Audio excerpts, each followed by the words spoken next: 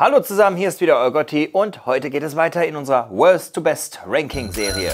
Wir hatten bereits schon einige, seht ihr da, und jetzt kommt endlich der Trizeps dran. Es gibt auch hier einiges zu beachten und das Ganze jetzt nochmal im Schnelldurchlauf für diejenigen, die neu in dieser Serie sind. Das Ganze ist nach dem Vorbild der Jeff Nippert Serie entstanden und es gibt schon so einiges auf YouTube, wo gerankt wird. Deswegen machen wir es auch nach einem System, wo es von D nach S geht. Das ist das amerikanische System, kann man in unser Notensystem übersetzen.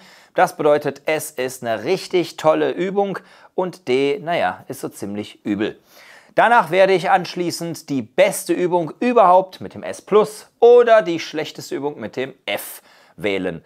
Das Ganze wird nach einem System gemacht, wo es drei wichtige Aspekte gibt. Aspekt Nummer eins: Die Übung muss eine gute Range of Motion haben. Das bedeutet, nicht zu verwechseln, dass wir diese immer einhalten müssen und komplett die Bewegungsamplitude ausnutzen, sondern es geht darum, dass sie zumindest das Potenzial hat, dass wir eine große Bewegung drin haben, dass wir sowohl einen Stretch drin haben, irgendwo in dieser Übung, und auch eine gute Spitzenkontraktion. Das ist wichtig, zumindest habe ich dann die Auswahl und nicht nur einen kleinen Radius und weder Stretch noch Spitzenkontraktion drin dann wäre das denkbar schlecht in dieser Kategorie. Die zweite ist, wie gut fühlt sich diese Übung an? Die klingt jetzt erstmal sehr subjektiv und ja, da spielt auch viel Subjektivität mit ein, denn wir haben alle verschiedene Körper und reagieren auf Übungen anders. Das wissen wir mittlerweile vor allem, wenn man den Kommentaren folgt. Aber es gibt einen gewissen Grad, einen breiten Korridor an Objektivität da, ob eine Übung sich wirklich gut anfühlt oder nicht. Würde man irgendetwas machen, wo die Schulter in eine Position gebracht wird, die anatomisch bei keinem Menschen besonders günstig ist, ja, dann wäre es keine günstige Übung in diesem Fall. Und Nummer drei, es muss eine Möglichkeit, eine simple Möglichkeit der Progression geben. Das bedeutet, wir können uns steigern, wir können das Ganze auch tracken und nachvollziehen, diese Steigerung. Und diese Steigerung macht Sinn im Laufe der Zeit, egal ob mit Gewicht oder mit Wiederholungen, aber so, dass man es gut nachvollziehen kann. Zu beachten gibt es hier das gleiche wie beim Bizeps. Es gibt für den Trizeps so viele Möglichkeiten, Übungen zu kreieren aus nur einer Handvoll verschiedener Variationen. Beispiel, wie ist meine Handgelenkstellung?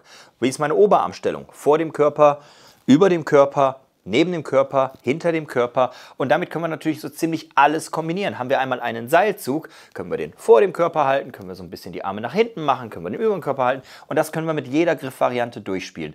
Das heißt, eigentlich hätte ich so viele Übungen zu ranken und einen großen Unterschied macht es doch nicht. Ich nehme die gängigsten Variationen davon um eine ganze Menge Trizepsübungen zu haben. Aber es kann natürlich sein, dass der eine Griff mit der Variation, die ihr liebt, vielleicht nicht dabei ist. Dann übersetzt es ganz gerne mit einem anderen Format. Aber wie beim Bizeps gibt es sonst zu viele Varianten. Meinen schlauen Laptop schlage ich dazu mal wieder auf. Dann habe ich es nämlich auch in Übersicht. Und wir beginnen so gleich mit French Press. Und zwar der übliche an der SZ-Stange, wie es die meisten machen. Also erstmal freie Gewichte und ich habe zwar schon zu dieser Übung auch gesagt, sie ist bedenklich, denn sie kann eure Ellbogen ganz schön in Mitleidenschaft führen. Ja, aber hier geht es darum, wie gut eine Übung ist für den Muskelaufbau. Und selbst wenn sie dann gefährlich ist, kann sie hier reingerankt werden, auch wenn es vielleicht mitbedacht wird, so grob. Hier muss ich dazu sagen, sie ist trotzdem eine der absolut effizientesten Übungen für mich für den Muskelaufbau im Trizeps. Mit French Press ein Training zu gestalten, ist was völlig anderes als ein Training ohne. Macht einen großen Unterschied und deswegen haben wir hier direkt ein Tor in der obersten Kategorie S, French Press mit der SZ-Stange. Danach bleiben wir bei French Press und gehen mal direkt über zu der Kurzhantel-Version. Aber auch da muss ich sagen, jetzt haben wir noch das Plus, dass wir die Handgelenke etwas freier bewegen können. Ebenfalls deswegen die beste Kategorie ein S. Auch noch ein Klassiker, Seildrücken. Wer macht es nicht? Es gehört eigentlich in jedem Plan von einem jeden Individuum, dass er eigentlich irgendeine Seilvariante da drin hat.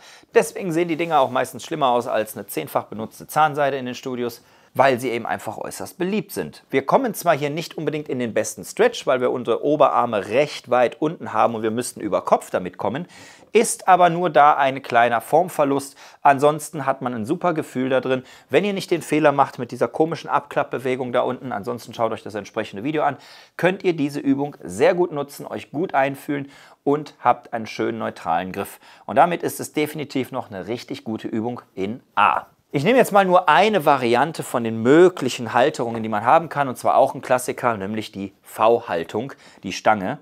Und die bekommt dementsprechend, kann ich auch direkt ohne Umschweife sagen, ein A. Ist auch eine richtig gute Variante.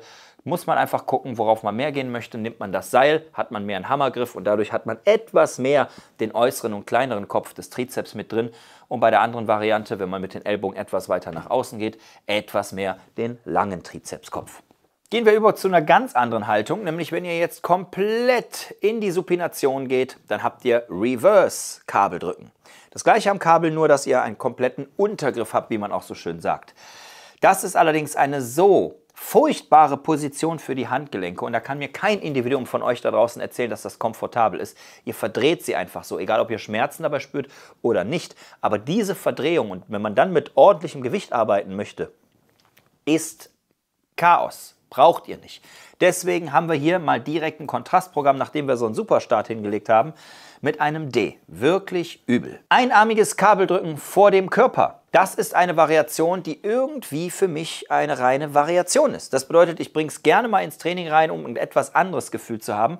Muss aber sagen, gehe ich rein nach der Übung, habe ich nicht das beste Muskelgefühl da drin. Deswegen ist es besser als vielleicht die schlechteste Stufe. Und ja, ab und zu mache ich es mal ganz gerne, aber auf diese würde ich mich nicht verlassen in den Hauptübungen für den Trizeps und ich glaube, dadurch ist mein Trizeps wahrscheinlich auch noch nicht gewachsen. Deswegen gerade mal noch ein C, auch wenn ich die nicht sehr oft sehe im Fitnessstudio. Das Overhead Seildrücken. Hier haben wir natürlich jetzt einen super Stretch bei der Seildrückvariante drin. Allerdings haben wir hier das Problem, ein bisschen Körperbalance einhalten zu müssen. Mich zieht es immer ordentlich nach hinten bei dem Gewicht und dann muss ich mich so weit vorlehnen, dass es nicht mehr so komfortabel ist, das Ganze. Und man braucht natürlich auch so ein bisschen Mobility in den Schultern. Ist nicht mehr unbedingt für jedermann eine Sache.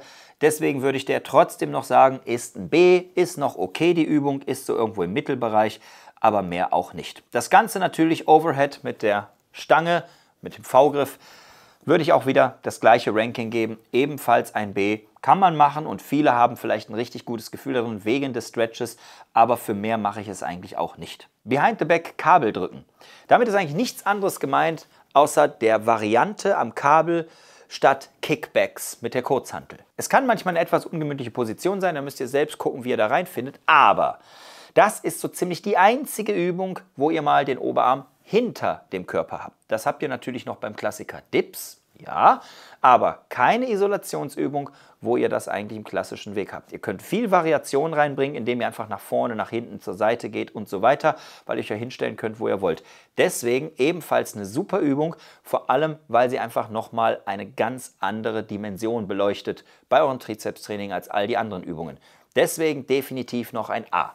Und jetzt kommen wir zu der anderen Variante mit den Kurzhanteln, Kickbacks. Ja, das wird jeder auswendig kennen, weil es so ziemlich die einzige Trizepsübung ist, die man machen kann, wenn man ein Home Gym hat mit begrenzter Auswahl, heißt nur ein paar Gewichte, Kurzhanteln oder ein Kasten Bier. Deswegen muss man gucken, was man aus diesen Möglichkeiten machen kann und Kickbacks ist so ziemlich das einzige für den Trizeps, wenn es um die Isolation geht. Hat aber einen so wahnsinnig geringen Radius nur. Es geht wirklich nur noch darum, dass man eigentlich diese 30, 40 Grad hinterbewegt, die man wirklich spürt. Da unten spürt man kaum was und es pendelt einfach nur aus. Und da oben dafür volle Kanne. Ja, dafür kann es für einen ordentlichen Pump sorgen, ist aber schon fast mehr eine statische Wiederholung da oben mit dem Pump. Und ansonsten gibt es da nicht viel mehr. Unheimlich kleiner Bewegungsradius, kein Stretch da drin, also eigentlich eine furchtbare Übung und deswegen definitiv ein D. Enges Bankdrücken war mal ein Klassiker, sehe ich immer seltener, gilt als eine der Grundübungen für den Trizeps. Auf Oldschool-Variante habe ich aber nie viel von gehalten. Warum? In erster Linie, weil es mir den Splitplan zerschießt. Ich will an dem Tag nicht Brust trainieren, ich will meine Schultern raushalten.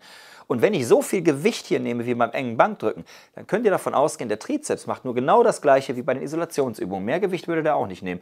Alles andere geht auf die anderen Muskeln hey Mann, die sind noch gar nicht dran, vielleicht sind die sogar morgen dran, vielleicht gestern, vielleicht übermorgen. Aber alleine die Energieverschwendung, dass diese Muskeln arbeiten müssen, sehe ich nicht ein. Deswegen gerade noch ein C, denn man kriegt ein Gespür in den Trizeps und ist es mal ein bisschen was anderes, aber für mich reine Verschwendung und hat noch nie in den 26 Jahren meiner Trainingshistorie Platz darin gefunden. Die andere Grundübung für den Trizeps, weil auch andere Muskeln involviert sind, sind natürlich Dips. Gehen wir erstmal an Dips in der Maschine. Es gibt viele Varianten von Maschinen. Dadurch könnt ihr natürlich den Griff ein bisschen variieren, weil ihr euch nicht auspendeln müsst. Viele nutzen diese Maschinen gerne, weil sie extrem hohes Gewicht in einem sehr frühen Stadium bewältigen können. Das merke ich immer wieder bei relativen Anfängern, dass sie ziemlich stolz sind, dass sie da so viel Gewicht bewältigen. Ja, als Grundübung kann man das recht gut. Runterdrücken ist da ein bisschen leichter. Der Querschnitt der Brust, weil die, der untere Teil der Brust drin ist, macht das Ganze dann auch noch ein bisschen leichter, aber das macht das nicht zu einer wirklich guten, effizienten Übung unbedingt für den Trizeps. Deswegen gerade mal noch im Mittelbereich ein B. Das gleiche gilt für freie Dips. Viele schwören darauf, manche eher für die Brust. Für den Trizeps habe ich noch nicht richtig gehört, dass viele denken, dass das wäre die Aufbauübung schlechthin. Deswegen auch hier nur ein B. Viel Aufwand, Mache ich gerne mal zum Schluss oder als Kombination, um so ein bisschen den letzten Saft rauszuholen. Vielleicht erst Seil drücken, die Isolationsübung, dann an den Dips ran. Das macht vielleicht Sinn oder umgekehrt, aber ansonsten als reine Übung, glaube ich, hat sich mein Trizeps dadurch noch nicht aufgebaut. Und hier möchte ich mal aus Prinzip noch eine Variation reinbringen und das ist die TRX-Variante. Das aktiviert eine ganze Menge Hilfsmuskeln, die allerdings fast alle nicht mit dem Trizeps zu tun haben. Ist ganz nett, ist was zum Prahlen, ist etwas, um mal ein bisschen Koordination und Balance reinzubringen, im Gegensatz zu dem sturen Gepumpe von Bodybuildern, aber auch nicht mehr für den Trizeps, deswegen müssen wir hier auf dem Boden bleiben, gibt auch nur ein B. Die Kurzhantel Overhead Extensions im Sitzen. Das bedeutet diese schöne Crusher-Übung, die man gerne mal im alten Flex Magazine gesehen hat oder so. Ebenfalls eine Übung, die viele Nachteile hat. Es kommt ein gewisser Stretch rein, aber das war es auch schon. Die Gewichtsverteilung ist nicht besonders günstig. Der oberste Punkt, die Spitzenkontraktion, ist nicht besonders stark und alleine, dass man sich so ausbalancieren muss, viel Mobility haben muss, bevor man sich den Schädel zertrümmert. Bei höheren Gewichten wird das dann immer schwieriger, dem Kopf auszuweichen und die Schulter in so eine ungünstige Position gebracht wird. Auch die niemals Platz gefunden bei mir, außer in den ersten ein, zwei Jahren, als ich mal noch öfters zu Hause trainiert habe. Deswegen auch hier nur gerade noch eine Haltungsnote C, aber auch nicht mehr. JM Press habe ich vorher nie gehört. Habe ich jetzt mal nur aufgenommen, weil ich mich seitdem da mal ein bisschen schlau gemacht habe. Aber rein vom Trainingsprinzip und meinem ersten Test sagt mir das, das ist eine Übung, die hat sehr viel Verletzungspotenzial großes Risiko. Ihr nehmt ein bisschen mehr Gewicht. Das ist eine Mischung aus French Press und engem Bankdrücken und einfach nur eine Übung, die keiner braucht. Wozu? Nicht gut für die Handgelenke, nicht gut für die Schulter, nicht gut für den Rest und ich glaube, es wird auch nicht unbedingt mehr euren Trizeps aufbauen. Ein klares D. Kommen wir zu der Kurzhantel Overhead Extension beidhändig. Ja, es geht auch noch schlimmer, wenn ihr so eine große Hantel bewältigen wollt. Jetzt müsst ihr noch mehr Gewicht haben, mehr als doppelt so viel als bei den Einarmigen. Und irgendwie müsst ihr noch weiter zurückkommen. Diese Mobility habe ich gar nicht mehr. Ich könnte gar nicht irgendwie 30 Kilo hier hinten bewegen oder 40. Außerdem muss ich ja auch irgendwie sitzen bleiben. Ich kann also keine Lehne hinten haben, weil ich sonst mit der Kurzhandel dagegen komme. Oder ich muss die Bauchmuskeln die ganze Zeit anspannen. Oh mein Gott, verschont mich damit. Ein absolutes D, Katastrophe, braucht keiner, wenn ihr diesen kleinen Muskel trainieren wollt und dann dafür den Aufwand habt, den ganzen Körper fast zu involvieren. Mein Gott, wo sind wir denn hier? Dann haben wir natürlich ebenfalls noch eine Variante, die jeder Men's Health Freak nimmt oder Leute, die zu Hause trainieren. Das sind die Bench Dips. Habt ihr sicherlich schon mal irgendwo gesehen oder irgendwo auf dem Sportplatz gemacht, um euch ein bisschen aufzupumpen oder im Schwimmbad. Ja, fürs Aufpumpen kann man es mal verwenden. Ansonsten birgt diese Übung nicht viel mehr, ist sogar eine schlechtere Variante von den Dips. Deswegen ein unter Dips kriegt nur noch ein C. Und dann haben wir noch enge Liegestütze. Eigentlich drehen wir das enge Bankdrücken einmal um, haben aber im Prinzip noch mehr Probleme, denn Liegestütze, Handgelenke, ebenfalls kein großes Gewicht. Damit haben wir hier zum Schluss nochmal einen Kandidaten für ein D. Und jetzt, Trommelwirbel, wird es spannend. Was wird zur besten Übung erkoren und die schlechteste? Fangen wir mit der absolut besten Übung an für den Trizeps. Wenn es nur noch eine Übung gäbe oder wenn eine definitiv öfters mal im Trainingsplan auftauchen sollte, ist das für mich French Press mit der SZ-Stange. Damit haben wir angefangen. Schwer zu erraten. Ja, das ist so eine grundsolide, gute Übung. Ja, man kann sich mit den Ellbogen da ganz schön das verscherzen. Deswegen gut aufwärmen für die Übung, vor allem wenn ihr schon viel Gewicht benutzt.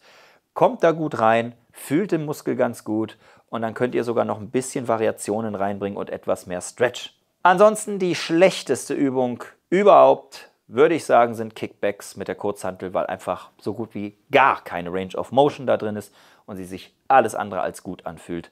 Nur zum Improvisieren, wenn man wirklich nichts anderes hat. Und selbst da, nehmt euch ein Terraband und macht damit Seil drücken, indem ihr es einfach über eine Tür spannt oder so.